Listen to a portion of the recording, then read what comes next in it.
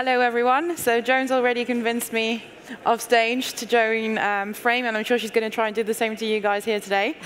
um, yeah, Yessi, editor of UK Tech News, and obviously you are the co-founder, one of the co-founders of um, Frame. So just to start off, what is Frame, and how is it innovating in the health and fitness space?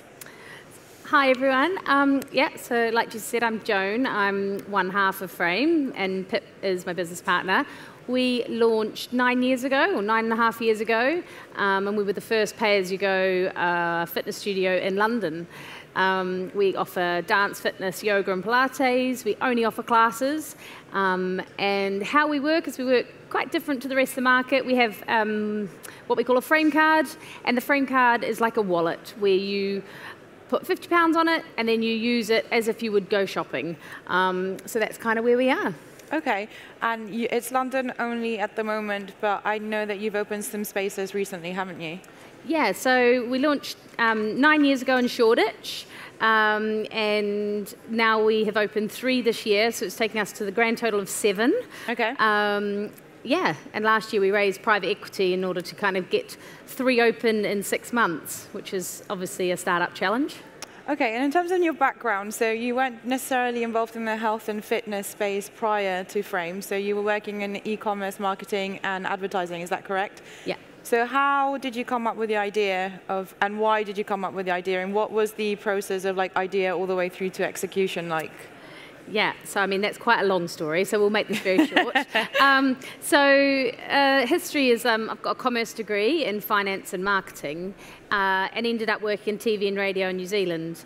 Um, that translated to coming travelling to Europe and then working in um, experiential um, advertising. So, um, after four years of that, I kind of thought, I really love it over here, but I'm not sure staying in advertising is for me forever.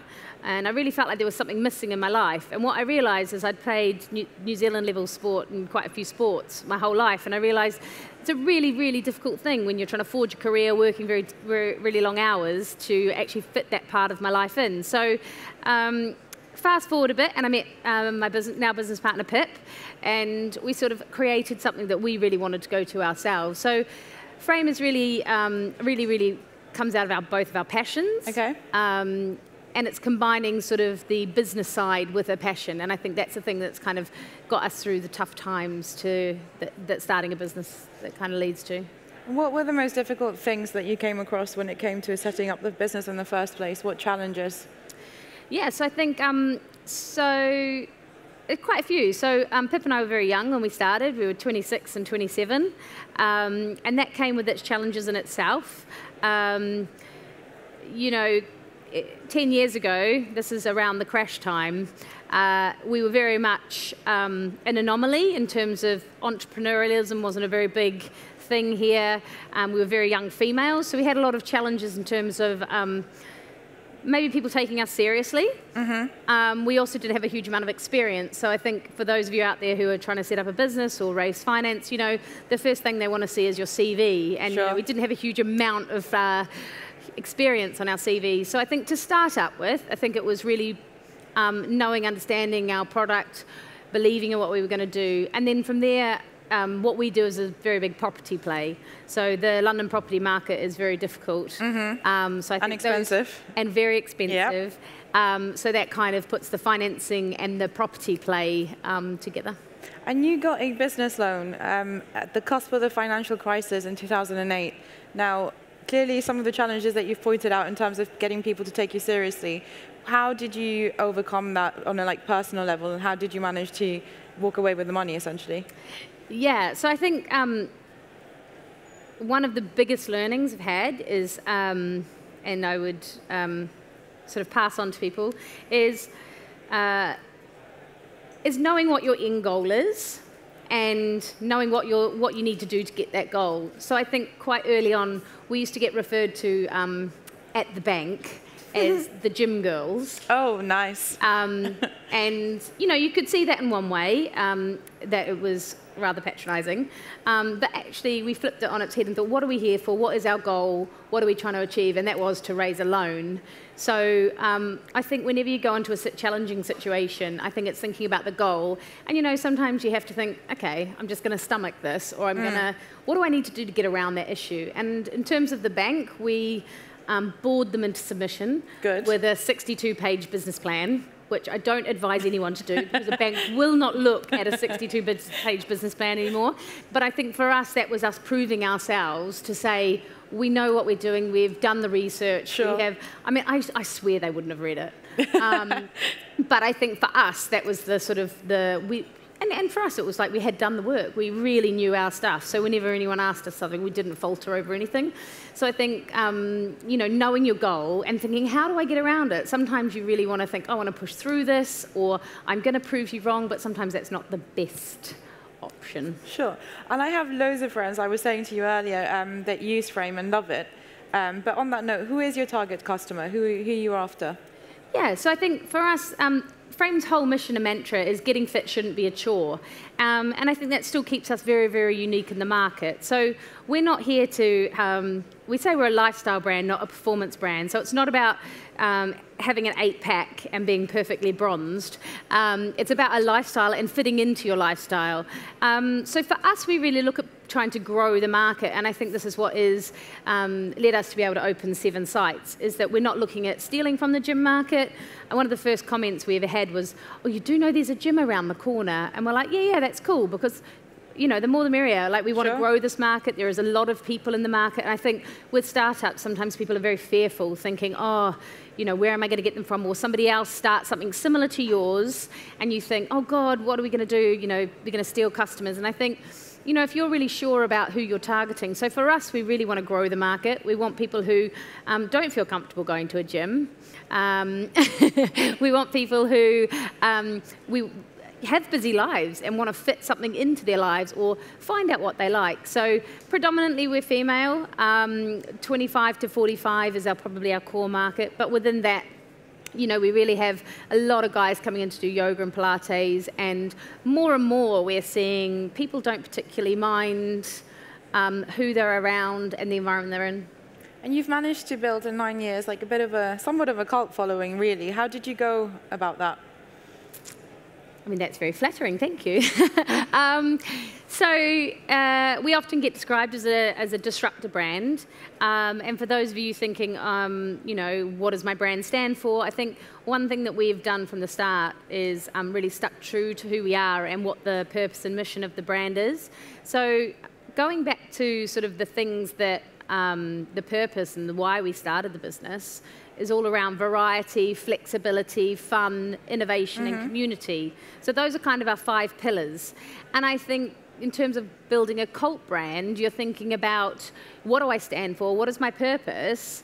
And then it takes time. You can't just magic a brand overnight. So, you know, we have been around for nine years, but we haven't wavered from our purpose and our mission. And I think clients and, and, and customers these days, you know, they see into a brand now. You know, you can't just change your messaging. You know, you what you're doing has to be for a reason, and you have to do it because you believe in it. So I think having a purpose and having been really strong to your brand values. Um, so whenever you know, there's been times in the past when we've thought, oh God, what are we doing? Is this right? Whatever, and we've always come back to actually, sure. why did we start this business? And then your brand always has something to stand for. And so it's, it's you and Pip, so two co-founders. How do you each play to your strengths and weaknesses? What do you each bring to the table? Very good question. Um, so again, kind of linking back to where we started, um, we kind of just both did everything. We didn't have a huge amount of experience, so we both did everything. We did everything from the reception to the teaching to the finances to the marketing. Um, we sort of say it's yeah, we was just very much on the job learning. We, had a, we have a phrase still within the company, making it up as we go along. Um, so I think with over time that's evolved and we've kind of kind of separated out into our roles. But I mean, I would say to people like depending if you're going into a partnership or you're working with someone, it is a really good idea to define roles early. We didn't do it, so we had to go through a period of trying to define those roles. Um, but conversely, would we do it differently? Probably not, because we both know the business inside out because we were younger. Sure. So, you know, if we were starting now, with more experience, I would say we should set out roles to start with. But now Pip looks more after the um, marketing and like brand experience type side, and I look after more the like property, finance, performance, and product. And how big is the team currently? So the team uh, is employed. We have around 65, um, give or take, um, and around 300 trainers. Okay, and what would you say um, sets you apart in terms of like in-house company culture? So I think we don't have a business without people. Our, our, our, jo- our business is big empty spaces, and the people and the music and the vibe all comes from the people. So I think for us, um, it really is about giving people autonomy.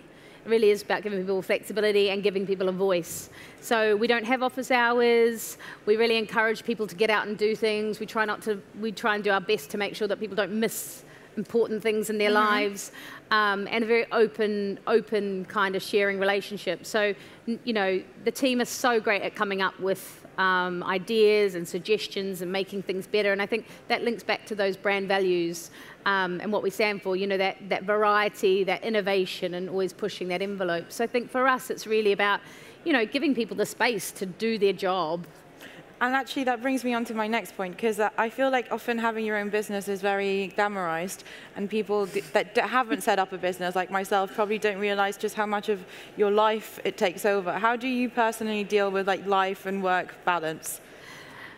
Um, so uh, going back to the Pip and my role situation, is we've actually had four children in four years between us. Okay. Um, well, maybe five years, something like that. So you know, there's been a huge juggle and a huge, a huge learning curve to go through. Um, and I think actually it was one of the best things for the business because when I had my, my son, we really had to change the structure okay. and actually taught boundaries. Before, prior to having children, it was very much like you had all the hours in the day. You could, if you took your time to do something or you took time out to do class, there was always more hours. You could just finish it at night. But I think actually having children created boundaries. I have to actually turn up to pick up the children from nursery, otherwise that's a bit of a problem. Yeah. Um, so I think in terms of the work-life balance, I'd say balance, I, I don't have balance.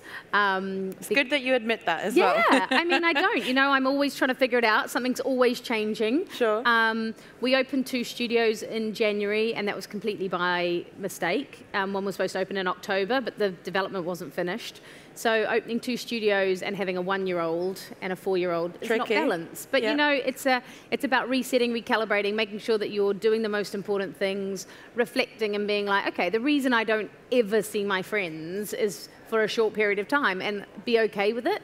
So mm. I think understanding and looking at yourself in that moment and saying like, okay, so what do I need to prioritize? What and where is this going to take me? I think, um, and then conversely, you know, with the team, it's it's really great to see people just get up from their desk when they've done their work or go and do classes at lunchtime. And I think it's really important to sort of, um, as founders, you know, be really open for people to sort of create that balance themselves. What's the one thing that you wish someone had said to you um, in terms of advice when you first started the business nine years ago? Putting you on the spot here a little bit, I realize. One thing uh, my dad told me. Uh, so my parents, I come from, uh, uh, from, I'm one of six kids, and five of the six all have businesses, and my parents have businesses. It's so kind of in trend. the family. Yeah, yeah, yeah. yeah. Um, but my, my dad said to me, cash is king. Mm. Uh, and while sometimes I push the cash boat a little bit too far, um, as all founders will do, um, I think understanding your cash flow is like the most important. And I don't mean the accounting cash flow, I mean the what comes in and what goes out. Um, and sometimes I think people starting businesses, or if you're working for someone else, sometimes it's like, you know, you don't want to open the mail to see what you've spent.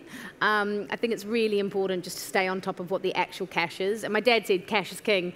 Um, and my accountant says to me sometimes, cash is king, Joan. that was think, right. I think, so depending on what you are, it may not be your strength, but having someone who can check in on you and make sure that you are doing those things that you probably don't want to do yourself. I'm, uh, the way that I one, fi- one thing I found difficult is not having somebody to like check up on you sometimes. You know things that are your weaknesses.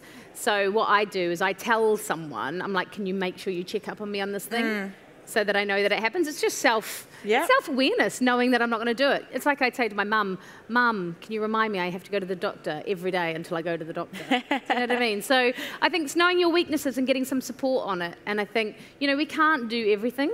So I think remember cash king and and you know find support for those things that you know you're your weaknesses. Like don't hide under a rock. I think that's very good advice. And just to finish up, because I know we've run out of time, um, what's next for Frame in the next year? So, like I said, we've opened three studios in um, six months. So we've gone from four to seven, so almost doubled the size. So this year's all about consolidation, making okay. sure that things are working right, making sure the team is right, um, because culture is so important. And like I said, we run big empty spaces without the people. So, um, you know, we've taken a big step, make sure everything's work, get it right, and then kind of take those next steps forward. Brilliant. Well, thank you so much, Joan, and I hope everyone's enjoyed the, the session and lovely to meet you. Thanks so much.